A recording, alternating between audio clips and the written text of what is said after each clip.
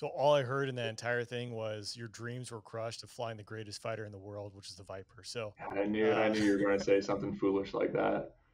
Let's just say that Destiny knew that my skills were uh, were better utilized than in an air superiority fighter.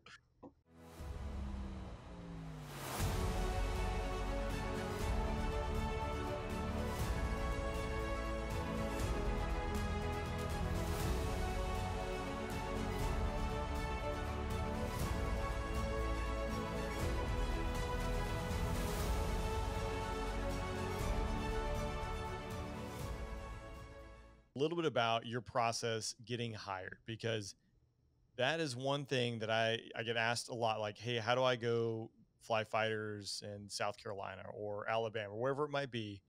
You got to go out there and rush a unit. Can you talk about that process, the complexities of it, and just kind of a broad brush how that works?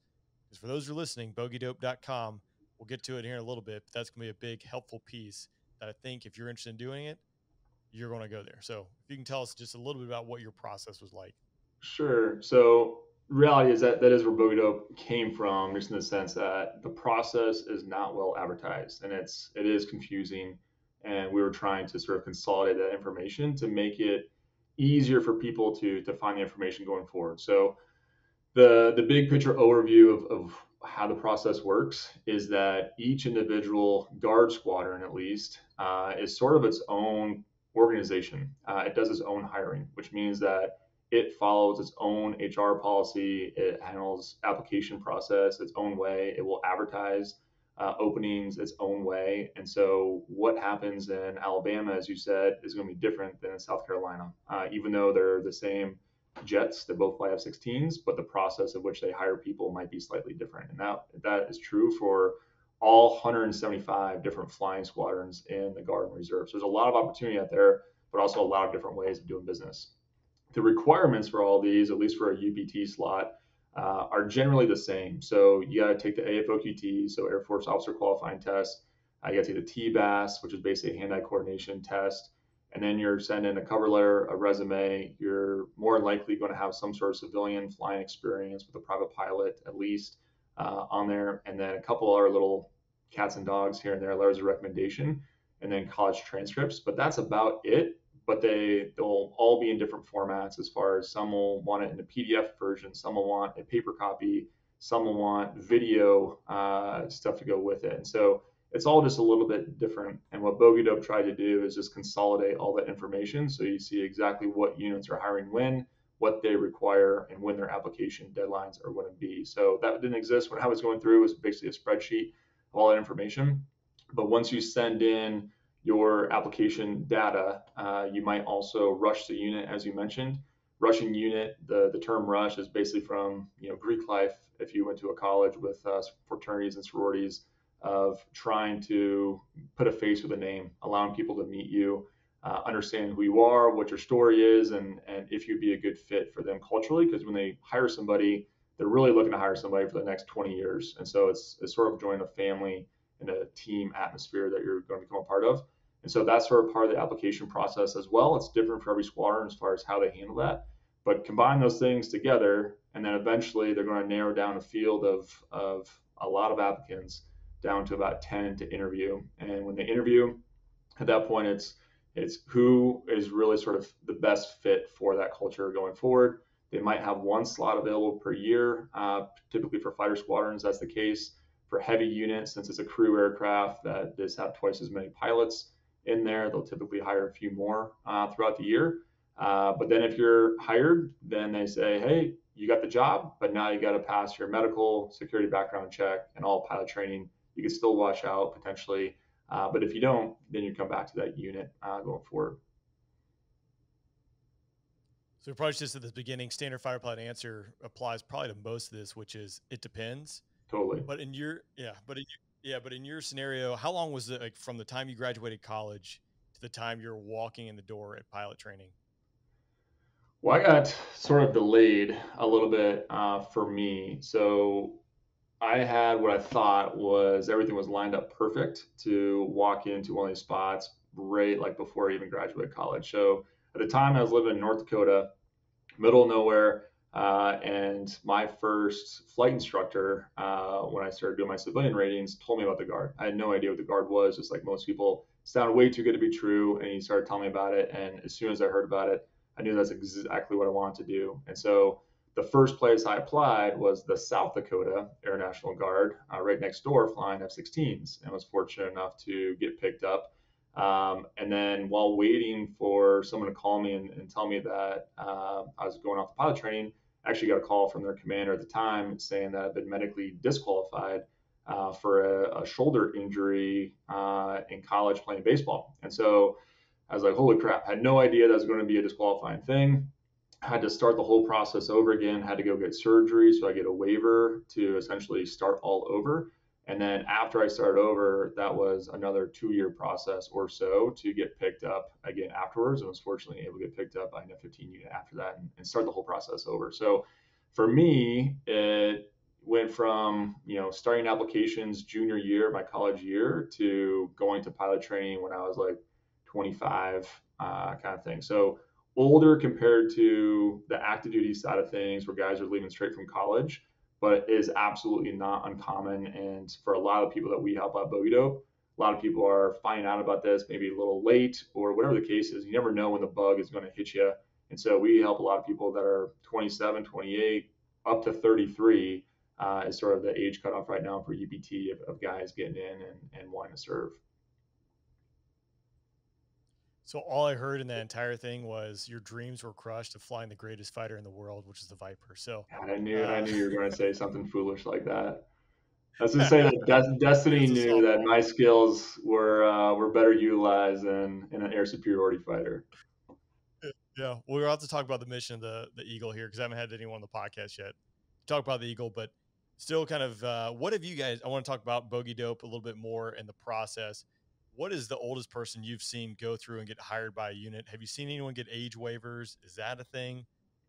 Yeah, so age waivers are, are actually quite common. Uh, so the the max age to go to pilot training in the Air Force recently changed from 30 to 33, and so uh, and the reason they changed that was because they were basically rubber stamping all age waiver approvals anyway, and so there's like you know what, let's just raise the age uh, max age on there and that way we'll have to deal with less age waivers.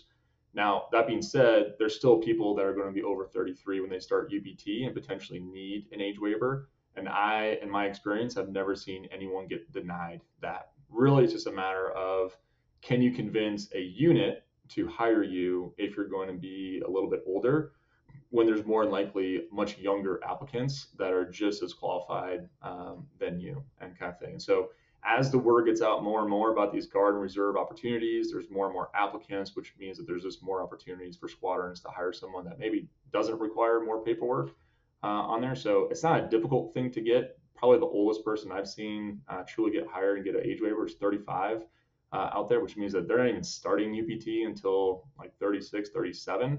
So that's a pretty pretty old person getting started in the grand scheme of, of this career field. Uh, but if the Air Force is like, hey, if you guys want to to hire this person, then who are we to stop you as long as the person can make it through? So is that a, that's an Air Force level waiver? It's not the reserves or the Guard Bureau that owns that. Uh, well, it'll be an independent. It'll be independent to that specific branch per se. So like the National Guard okay. Bureau or the U.S. Air Force or the Air Force Reserve would be the one that would approve that. Uh, but essentially, especially for a guard unit specifically, it's more of like the unit is sign off on this person. And so if they are willing to submit an age waiver for somebody, it is very unlikely that the big brother Air Force will turn that down just based on the fact of, hey, if that's the person you want, then you can have them as long as they can pass everything, you can get them. Gotcha. Yeah, I know it's definitely a process, but there's so many young guys and gals out there that are trying to like navigate it. And again, bogidope.com. I found your website a few years ago. I was like, man, this is really handy because you have all the information you need there as far as when the hiring boards are. Because again, like you mentioned, every unit is different. So you have to go find their website. It's in a different spot on the website, if it's even there. You guys have put up there, hey, this is when the board is, the contact, as well as a lot more information. If we, before we kind of, I want to talk about your career, but before we kind of transition to that, if there was one piece of advice you could give to a young person or an old person who's going down this path and starting to rush units, what would that be?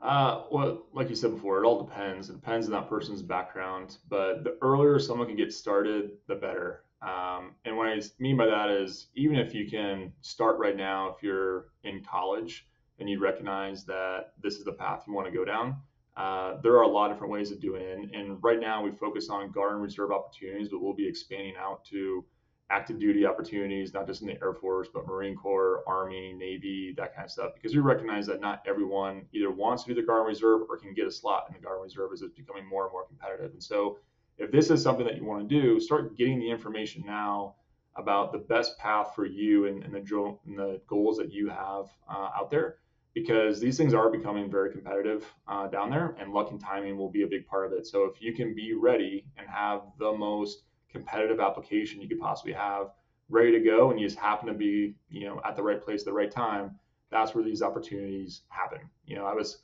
hired at a unit that had no connection, thought I had zero chance of getting hired there because it wasn't from the state or area or uh, any of that kind of stuff. And it just so happened that I was lucky enough that the right people saw my applications and it made an impression on them that year.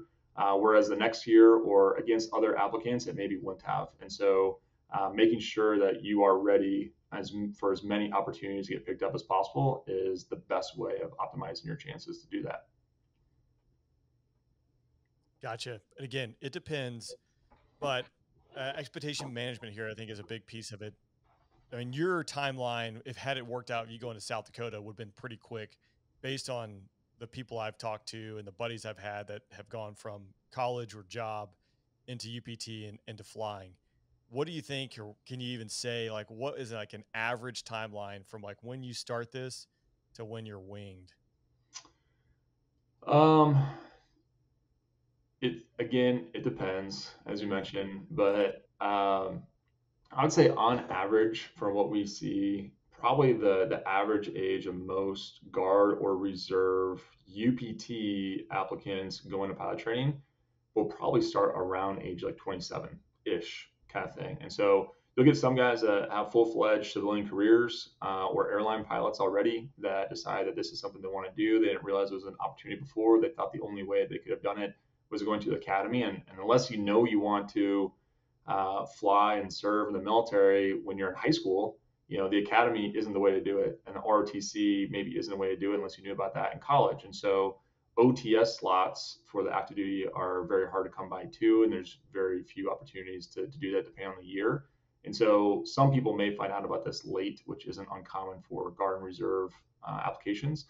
Uh, or you might get some people that are, are already enlisted in that particular unit that were enlisted, took a little bit longer to get their college degree because they were balancing military obligations uh, with getting their degree. And now they're graduating at 24, 25 and just getting picked up after a year or two of applying um, and then starting from there. So uh, the big thing to take away from this is it's very rare to get picked up on like your first swing of the bat most people are doing shotgun applications to every unit that interests them. If you want to be a fighter pilot, apply to every single fighter unit. If you want to fly heavies, apply to every single heavy unit. Uh, if you don't care, apply to everything, right? If you want to fly only in one region of the United States, apply only to that region of the United States, but apply to all those units that are available out there just to increase your chances because more than likely, this is going to be a couple year process uh, and a few people will get in on their first try, but more than likely you're going to be applying several places, interviewing several places, and then fortunately, you know, again, luck and opportunity will intersect, and uh, you'll be able to to get picked up. Yeah, no doubt. There's a lot to digest there and to go through. And again, bogidope.com. That's a great resource that Slap and his teams put together to help guide you through the process if you're looking to pursue the Guard and Reserve and then expanding into different branches and different careers. So excited to see what you guys are going to do with that. And I'm sure it's going to come back up in the remainder of this podcast. But I want to transition a little bit and back up to you going through pilot train, uh, pilot training, and then into the